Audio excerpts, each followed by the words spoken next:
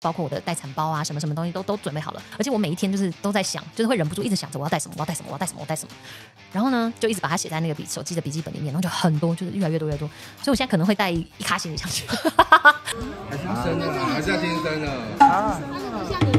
没有啦。Selina 宣布要去生产啦，宫缩有感，卸货倒数了。就是很倾向是自然产、顺产的方式让它出来，所以这个头围就很重要。然后我跟小徐的头都算大，真的真的很辛苦，肚子很大很沉，然后伴随着不定时的宫缩，它又还能踢。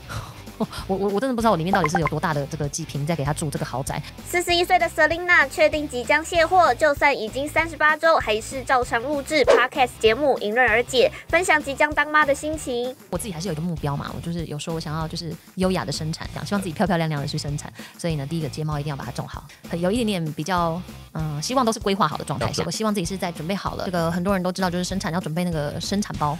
哦，就是你要去待产的时候要准备的东西这样，而且我每一天就是都在想，就是会忍不住一直想着我要带什么，我要带什么，我要带什么，我带什么。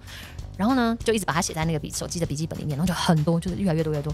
所以我现在可能会带一卡行李箱去，我把它当成是一趟旅行，所以我就是会准备带着我的行李箱，然后我旅行会带的东西基本上我也都会带着。他很担心我，万一生完之后他怕我会有产后忧郁，他最担心的是这个。如果真的发生了，我就跟小鱼说没关系。如果我真的有，你觉得我有，或者我也觉得我有，一定要第一时间就寻求医生的帮助。Selina 产前最后一路，再加上先前 ella 已经预告十一号 SHE 成军二十二周年纪念日当天可能会有小惊喜，也引来不少粉丝猜测，可能就是公布小腰果顺产消息。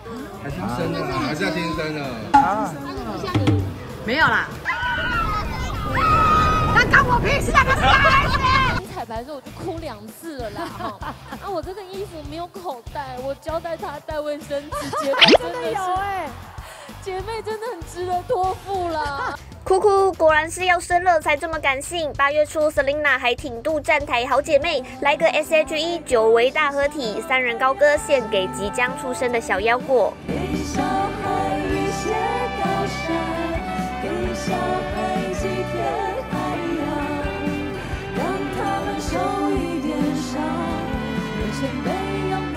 腰果，这就是你最好的胎教音乐。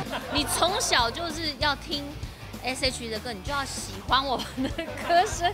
你要以妈妈为荣，很自私的胎教音乐。所以我就有约定好，就是生完一生完顺利生出来的那一刻，马上帮我擦口红，然后再跟小优果合照。劈腿有关你没有事？那关我屁事啊！他是他儿子，为什么他儿子油饭要我挑？他自己会处理，我只要